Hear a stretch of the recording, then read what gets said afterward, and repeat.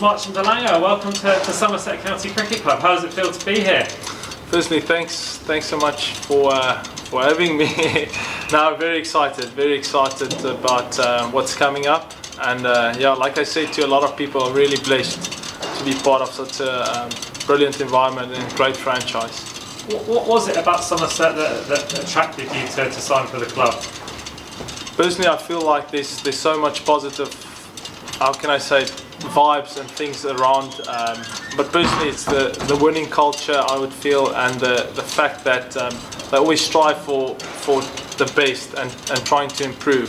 So that's something that really attracted me, and um, it's just a lot of a lot of positive feedback from from. Uh, other players and past players, and uh, so the, the club is it's really been uh, something that I would like wanted to join for, for, for quite a while.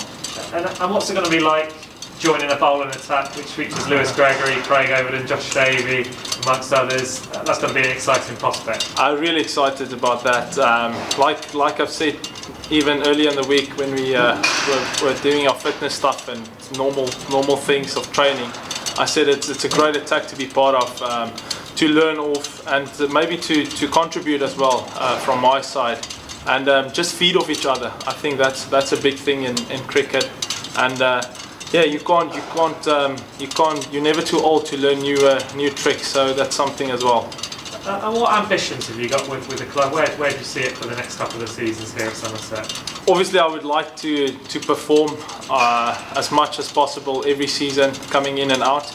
And um, yeah, there's there's so much positive things happening with the club, and maybe maybe to get a couple of silverware would be would be our deal um, especially in the in the red ball stuff. Um, yeah, to go all the way, all the way. So any any part that I can play there and contribute to the club um, would be very very grateful. Uh, what do you what do you see as your core strengths as a, as a, as a fast bowler? well, it's just maybe a bit of pace, uh, which is my strength, and hopefully build on that with skill, and uh, just um, yeah, trying to contribute wherever I can for the club. And you'll have seen when you've been to Taunton previously, obviously a, a, a large supporter base here down in, in Taunton. Are you looking forward to, to, to, meeting some of the members and getting out and, and being, being in front of those seven and a half thousand supporters? No, definitely. That's uh, that's something that um, that it's the club takes a lot of pride in. You know, with all of the supporters and people that's backing the the club. And uh, no, from a personal point of view, even now with the with the COVID happening.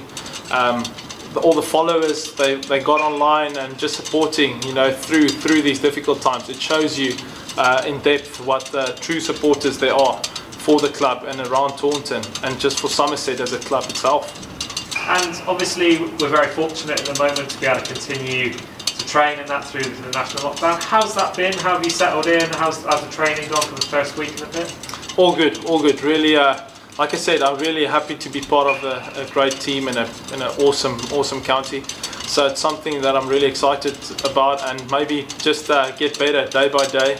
And I've, we've been settling nicely, nicely. It's uh, really exciting to be down here.